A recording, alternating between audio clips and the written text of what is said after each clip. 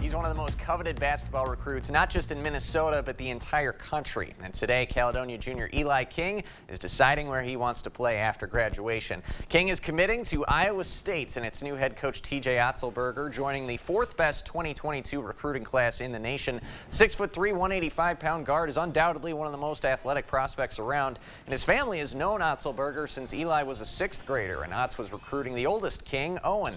Now that relationship with the Kings has remained over the years and just just days after Otzelberger took the Iowa State job, he re-offered to Eli. And that comfort level and previous relationship is one of the main reasons Eli wants to be a Cyclone.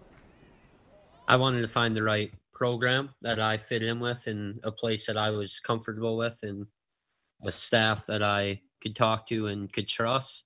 And uh, I liked a lot of the schools, but Iowa State really stood out to me. When he reached out, he kept reaching out uh, a couple times a week. So that was nice. He's always played fast and up tempo like we do here. So that's, uh, I've always enjoyed that. And King averaged 16 points his sophomore year, but missed junior season with a torn meniscus. I asked Eli if there might be a chance either of his siblings could join him at Iowa State since Otzelberger recruited them while he was at SDSU. He laughed and says he doubts it'll happen, but any chance to play with his brothers would be a welcome one.